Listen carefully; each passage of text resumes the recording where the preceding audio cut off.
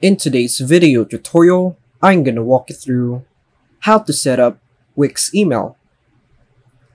First things first, navigate to the inbox section within your site's dashboard.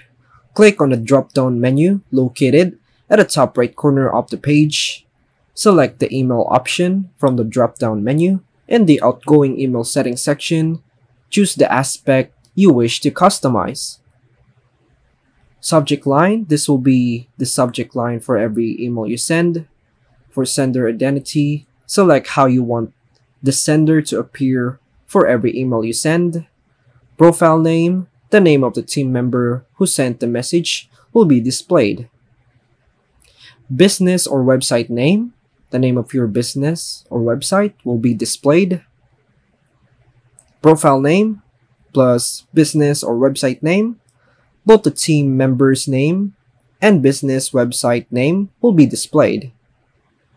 Sender address, choose whether to connect your Gmail account to Wix inbox or purchase a business email to have your email sent from your own address. If neither option is connected, emails will be sent from reply at crm.wix.com. Once you have made your desired selections, click on Save Changes located at the top right corner of the page. And that's all for now folks. Thanks for watching.